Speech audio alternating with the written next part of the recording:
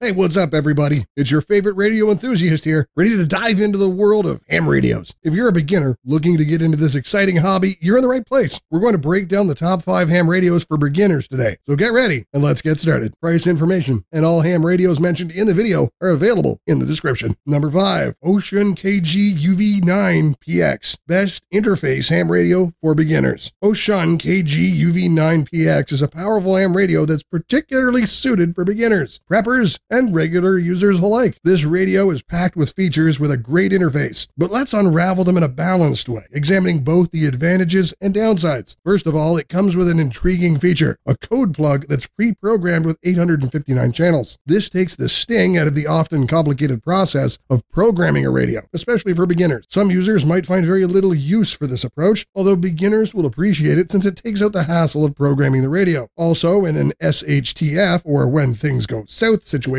this extensive variety could be a lifesaver. Now, if you like to get your hands dirty, so to speak, and enjoy tailoring your radio settings, the KG UV9PX won't disappoint. Programming it is feasible through Chirp or the included software. For minor adjustments, it is front panel programmable, which makes for convenient access to the settings. A key point to highlight about this radio is its simple and user-friendly interface. Wouxun has done an excellent job keeping its menus and display clean and uncluttered. The large display with its dark background and customizable colored text presents a lot of information in a visually pleasing way, which makes general use of the radio convenient. Let's move on to performance. The KG UV9PX employs a super heterodyne receiver for better signal reception and transmission quality. TX voice is good too, but it's worth noting that some sound distortion can occur when transmitting, which might slightly impact the clarity of the transmitted voice. Built to last, this radio is ensconced in a shell-rated IP55, making it resistant to water to a degree. However, it's essential to understand that it's merely water resistant, not waterproof. The KG UV9PX is part of the Wouxun KG UV9 series, which also includes radios like KG UV9GX. These radios are practically identical, but the KG UV9GX is a GMRS radio, while the KG UV9PX is a dual band ham radio, transmitting on 2 meter and 70 centimeter bands. A standout feature of this radio is that it's a true dual band receive device with full duplex operation. It can simultaneously receive two channels, which may be a bit overwhelming for some, but a true blessing for those who love this setting. As for battery, the radio boasts a robust 3200 mAh lithium ion battery, which can keep it running for a day. However, if you're using the radio at its highest power setting, at 8 watts, expect a fast battery drain. Even the screen seems to be a battery hog. In conclusion, while the Wouxun KG UV9PX does have a few shortcomings, its user-friendly interface, pre-programmed options, and a host of features make it a solid choice for beginners. Our rating for value for money is 7.5 out of 10. Audio clarity, 9 out of 10. Programming, 8 out of 10. Battery and charging, 9 out of 10. For an overall rating of 8.5 out of 10. Number 4, Xiegu G90 HF Radio. Best base station capable radio for beginners. Xiegu G90 high frequency radio isn't just a cheap high frequency radio that you buy solely for the price. It's a high frequency radio that is ideal as a base station for beginners. The price tag is the cherry on top of all that this radio has to offer. The compact unit measures 1.77 inches in length and 4.72 inches in width and has a depth of 8.26 inches. That alone will give you plenty of flexibility to install or place this radio where you want it. But Xiegu goes the extra mile here. It has four extension handles that can screw into the side of the radio front and back. Additionally, the front panel faceplate is detachable. The radio comes with a DB9 cable to make this possible. All these features and capabilities bode well for the convenience of installing this radio. The front of the Xiegu G90 high frequency radio has a few buttons and a few knobs, but it's dominated by the large color display. This LCD shows plenty of information like frequency, volume, signal, standing wave, and more. It even has a waterfall to display the frequencies. However, this isn't a touchscreen and not nearly as advanced as the displays you'd see on ICOM IC7300 or Yaesu FT-DX10. Then again, these models cost almost two to three times more than the Xiegu G90. Though it might be lacking in a few aspects, Xiegu doesn't feel like it misses out on a lot. I like that a lot of functions for the radio can be handled with the included microphone. Apart from the conventional buttons, the microphone has a few dedicated function buttons and two configurable buttons. You can adjust the built-in antenna tuner for the radio completely through the microphone. Speaking of the built-in tuner, Xiegu's tuner appears to be a very impressive one. Many users find it absolutely fun. The tuner will work with anything metal and use it as a decent antenna. Well, there's bound to be some loss if you don't use a proper antenna, but still, the built-in auto tuner deserves appreciation. On the left side of the radio, you'll find room for two interfaces. One of these is the standard 3.5mm audio jack where you can attach the headphone of your choice. Alternatively, you could also attach your choice of speakers here for better, clear audio. The other spot is for the self-defining interface. Simply put, you can use this spot for firmware updates or for connecting this radio to a computer. Overall, this is an excellent radio that punches above its weight. While it falls into the budget category, Xiegu G90 high frequency radio isn't a cheap pick. Rather, it's a cost effective and feature rich option. Our rating for functionality is 8 out of 10. Reliability, 8.5 out of 10. Value for money, 9 out of 10. For an overall rating of 9 out of 10. Number 3. Retevis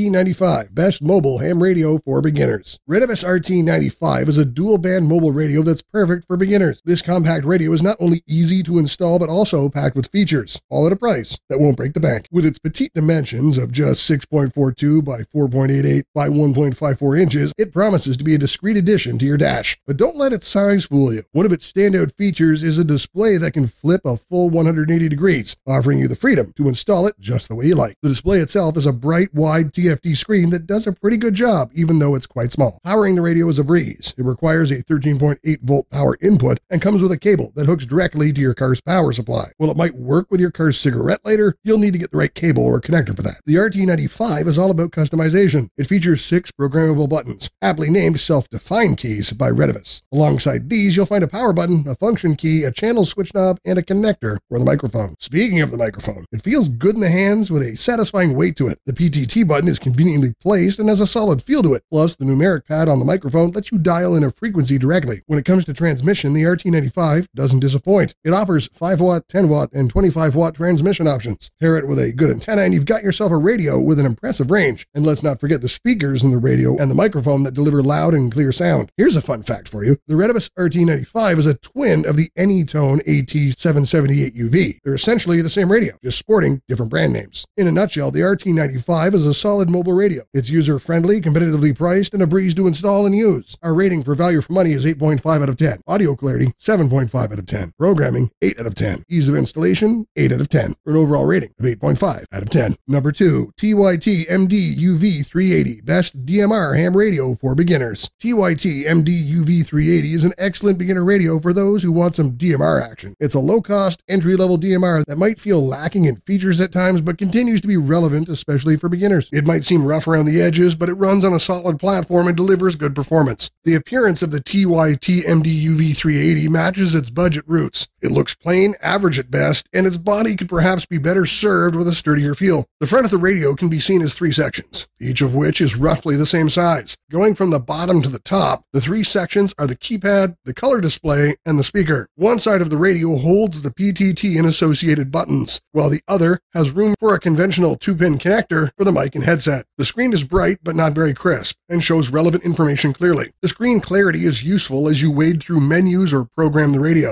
MD-UV380 is front panel programmable and users can handle most of the functions right from the keypad. However, using the software can make several things move faster, like adding contacts to the radio. You will need a programming cable for some setup options though. TYT provides its own software to make this work, though users may try other firmware options as well. Notable specs on the radio include a dual band VHF UHF function, TDMA digital function, dual display, and dual standby. It is compatible with DMR Tier 1 and Tier 2 and can work with analog and digital combined. All these are very desirable features in a DMR radio and quite impressive for a radio at this price range. To make things work smoothly for several hours, the radio draws power from a 2000 mAh lithium ion battery. The battery provides good backup, though charging it through the radio's cradle can take excruciatingly long. Users may consider buying an additional battery so an option is available while the other battery gets charged.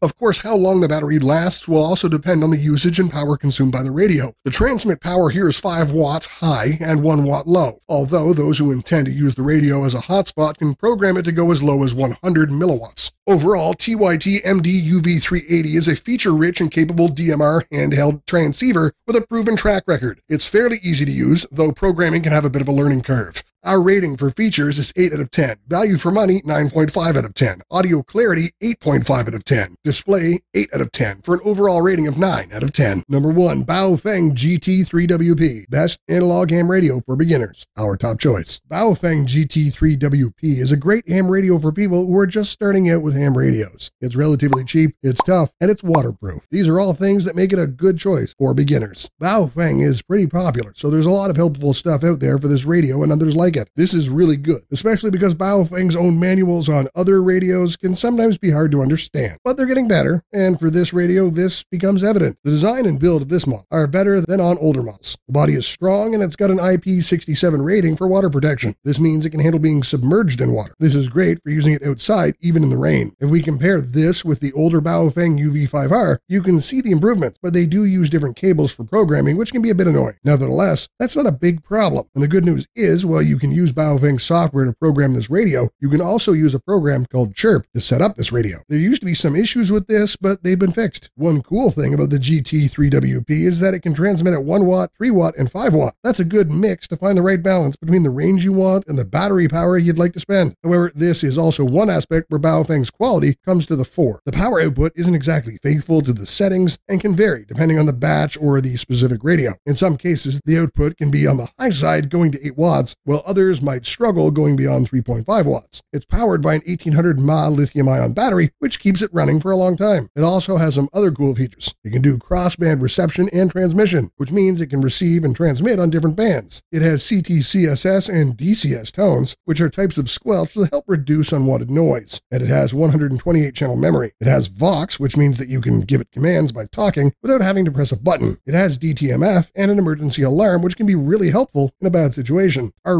ratings for value for money are 9 out of 10. Audio clarity, 7.5 out of 10. Battery and charging, 9 out of 10. Programming, 8 out of 10. For an overall rating of 8.5 out of 10. And there you have it, folks. Those are the top 5 ham radios for beginners today. Remember, the best radio is the one that fits your needs and budget. So take your pick and start your ham radio journey today. Before you go, don't forget to check out this other video popping up on your screen right now. Trust me, you don't want to miss it. And as always, if you found this video helpful, give it a thumbs up, share it with your friends, and hit that subscribe button for more awesome videos. Until next time, those signals clear and your radios tuned.